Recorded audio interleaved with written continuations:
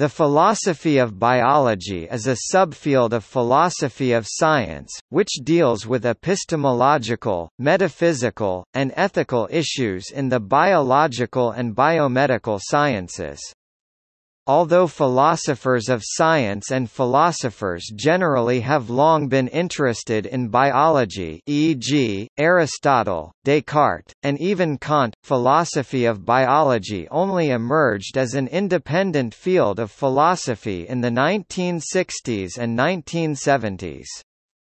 Philosophers of science then began paying increasing attention to biology, from the rise of neo-Darwinism in the 1930s and 1940s to the discovery of the structure of DNA in 1953 to more recent advances in genetic engineering.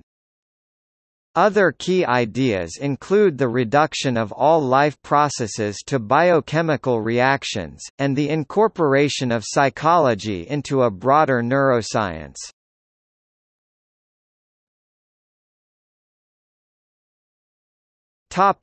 Overview Philosophers of biology examine the practices, theories, and concepts of biologists with a view toward better understanding biology as a scientific discipline or group of scientific fields. Scientific ideas are philosophically analyzed and their consequences are explored. Philosophers of biology have also explored how our understanding of biology relates to epistemology, ethics, aesthetics, and metaphysics and whether progress in biology should compel modern societies to rethink traditional values concerning all aspects of human life. It is sometimes difficult to separate philosophy of biology from theoretical biology. What is a biological species? What is natural selection, and how does it operate in nature? How should we distinguish disease states from non-disease states? What is life? What makes humans uniquely human? What is the basis of moral thinking? How is rationality possible, given our biological origins? Is evolution compatible with Christianity or other religious systems? Increasingly, ideas drawn from philosophical ontology and logic are being used by biologists in the domain of bioinformatics. Ontologies such as the gene ontology are being used to annotate the results of biological experiments in a variety of model organisms in order to create logically tractable bodies of data available for reasoning and search. The gene ontology itself is a species-neutral graph theoretical representation of biological types joined together by formally defined relations. Philosophy of biology today has become a visible, well-organized discipline, with its own journals, conferences, and professional organizations.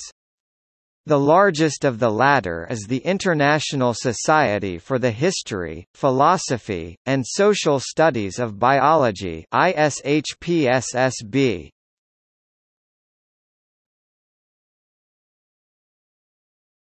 Topic: Biological laws and autonomy of biology.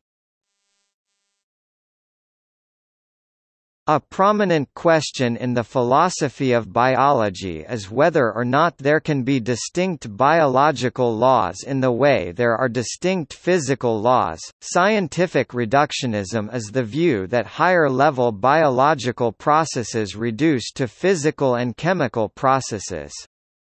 For example, the biological process of respiration is explained as a biochemical process involving oxygen and carbon dioxide.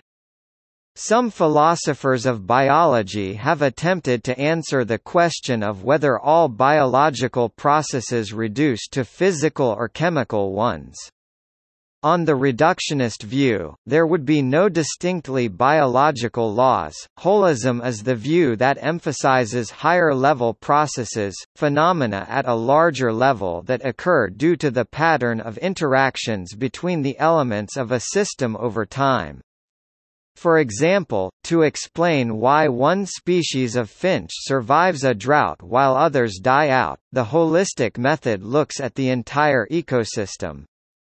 Reducing an ecosystem to its parts in this case would be less effective at explaining overall behavior in this case, the decrease in biodiversity.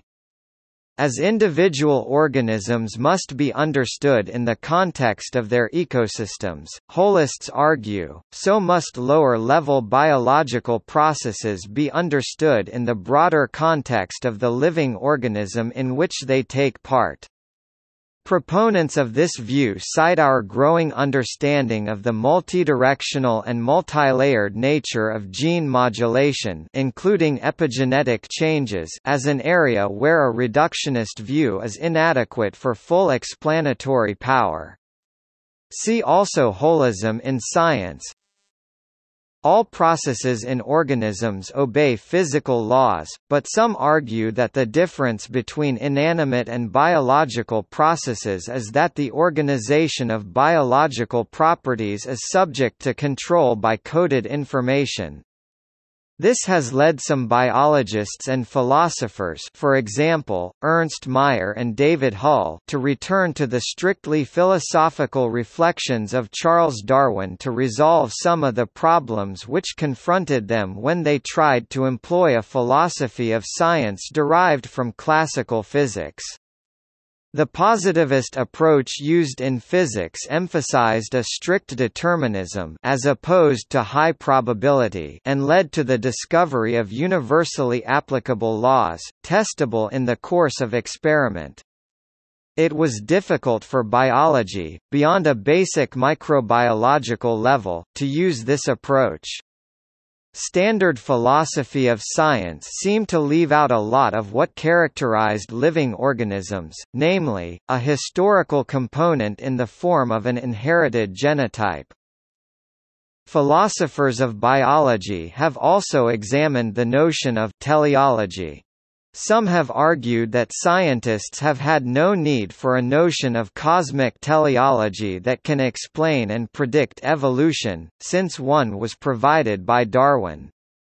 But teleological explanations relating to purpose or function have remained useful in biology, for example, in explaining the structural configuration of macromolecules and the study of cooperation in social systems. By clarifying and restricting the use of the term teleology to describe and explain systems controlled strictly by genetic programs or other physical systems, teleological questions can be framed and investigated while remaining committed to the physical nature of all underlying organic processes. While some philosophers claim that the ideas of Charles Darwin ended the last remainders of teleology in biology, the matter continues to be debated. Debates in these areas of philosophy of biology turn on how one views reductionism more generally.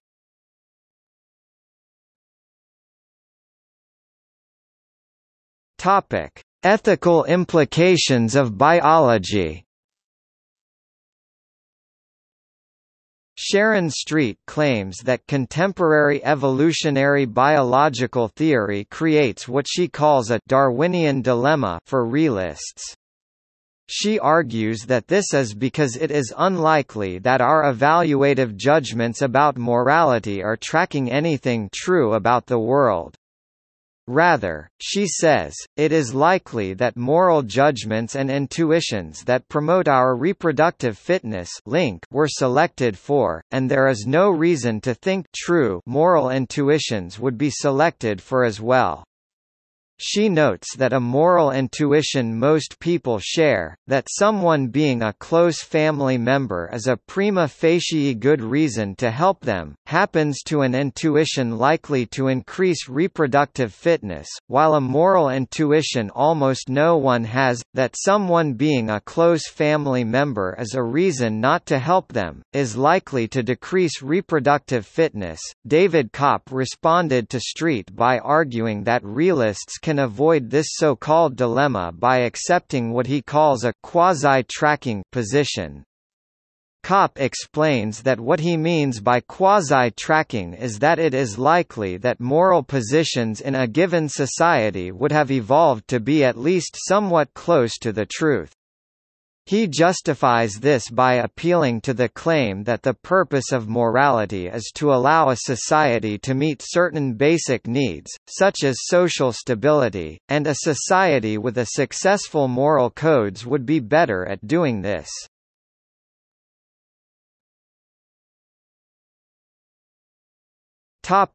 Other perspectives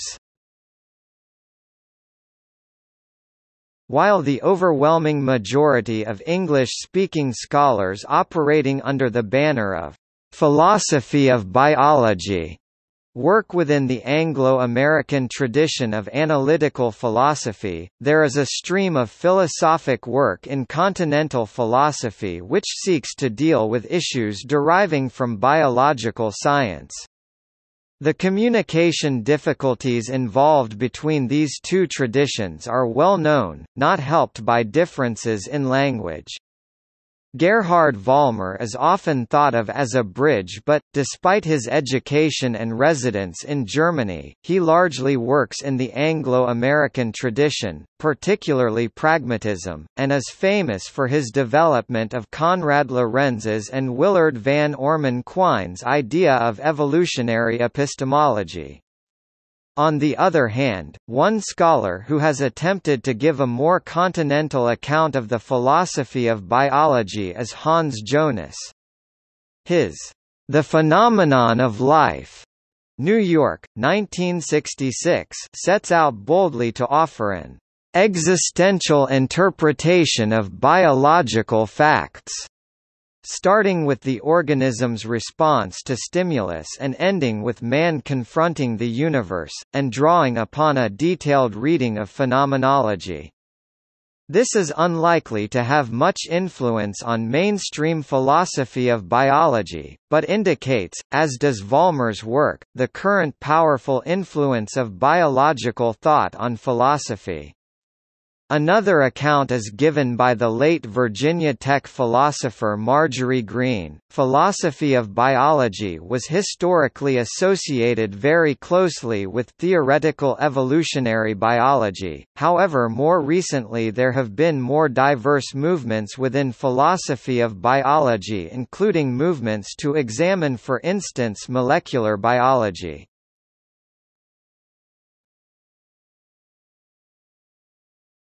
Topic: Scientific discovery process. Research in biology continues to be less guided by theory than it is in other sciences. This is especially the case where the availability of high-throughput screening techniques for the different omics fields such as genomics, whose complexity makes them predominantly data-driven, such data-intensive scientific discovery is by some considered to be the fourth paradigm, after empiricism, theory and computer simulation. Others reject the idea that data-driven research is about to replace theory. As Krakauer et al. put it, Machine learning is a powerful means of preprocessing data in preparation for mechanistic theory building, but should not be considered the final goal of a scientific inquiry. In regard to cancer biology, Raspe et al. state, a better understanding of tumor biology is fundamental for extracting the relevant information from any high-throughput data. The journal Science chose cancer immunotherapy as the breakthrough of 2013. According to their explanation a lesson to be learned from the successes of cancer immunotherapy is that they emerged from decoding of basic biology. Theory in biology is to some extent less strictly formalized than in physics. Besides one classic mathematical analytical theory, as in physics, there is two statistics-based, three computer simulation and four conceptual, verbal analysis.